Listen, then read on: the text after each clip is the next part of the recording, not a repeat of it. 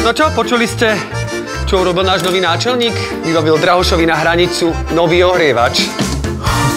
Si pekne naivný. Potom, keď ste dohovorili, bolo aj nejaké... Čo? No, no, no. Alebo nebodaj aj subhop. Treba kút železu, kým je horúce. To je výborný nápad.